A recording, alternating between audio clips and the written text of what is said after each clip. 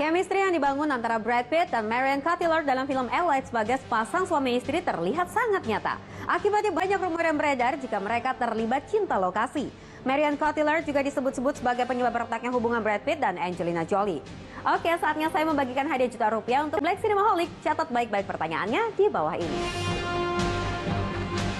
Tunggu apa lagi? Sudah pada tahu jawabannya kan? Jadi langsung saja klik website kami di www.blackexperience.com/blackcinema. Bagi kamu yang cari tahu tentang update terbaru dari otomotif, lifestyle, dan teknologi, langsung saja klik ke www.blackexperience.com. Follow juga sosial media kami di Black Experience.